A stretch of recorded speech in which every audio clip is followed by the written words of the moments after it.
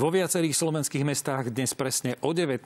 hodine zaznel mohutný potlesk. Bežní ľudia takýmto spôsobom poďakovali tým, ktorí odvádzajú hrdinskú prácu v nemocniciach, ale aj tým, ktorí zabezpečujú náš normálny život, teda predávačkám, šoférom, autobusom, rušňovodičom a iným.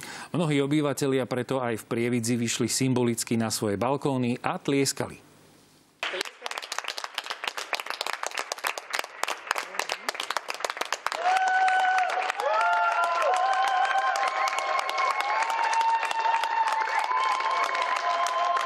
Stovky lekárov, sestier a pracovníkov iných odvetví v týchto dňoch riskujú svoje zdravie a životy, aby zachránili ostatných. Ľudia v Prievidzi im preto chceli symbolicky poďakovať. Potlesk je akousi solidaritou voči týmto ľuďom, lebo nie každý človek môže, dajme tomu, prispieť na nejakú zbierku, môže ušiť rúško, ale cíti nejakú takú potrebu poďakovať sa takýmto ľuďom za to, čo všetko teraz v tejto zložitej situácii pre celé Slovensko a pre ľudí na Slovensku robia. Lekári, sestričky, ale rovnako telekomunikační pracovníci, poštári, predávačky v potravinách, policajti, požiarníci. Potlesk bolo počuť na všetkých sídliskách v meste. Symbolicky ďakovali dôchodcovia, ale aj mladí ľudia.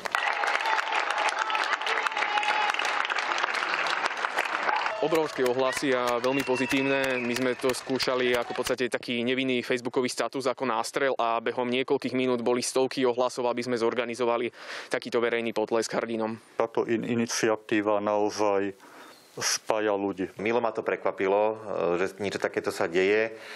Eh, že si ľudia začínajú uvedomovať, že tí zdravotníckí zamestnanci a ten zdravotnícky personál je tu naozaj pre nich, že im v žiadnom prípade nechce uškodiť, ale vychádzame im vo všetkom v ústretí, pomáhame im a vystavujeme vlastné zdravie a vlastné životy. Každý, kto vyšiel na balkón, tak bol aspoň na chvíľu myšlienkami s tými, ktorí pomáhajú často na hranici vyčerpania. Taký pomyselný odkaz, že vážime si ich prácu, nezabúdame na nich a ďakujem.